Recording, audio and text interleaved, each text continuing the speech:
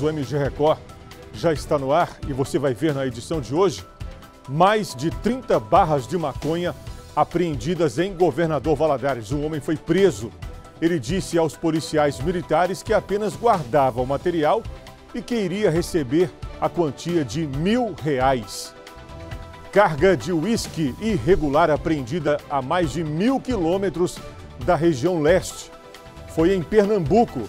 Só que essa mercadoria, gente, saiu de Governador Valadares. Inaugurados no Vale do Aço, os dois túneis na BR-381, na região da cidade de Antônio Dias. E a gente vai falar também do acidente que matou um motociclista de 22 anos depois que ele bateu na lateral de um caminhão. Esse acidente aconteceu na cidade de Caratinga.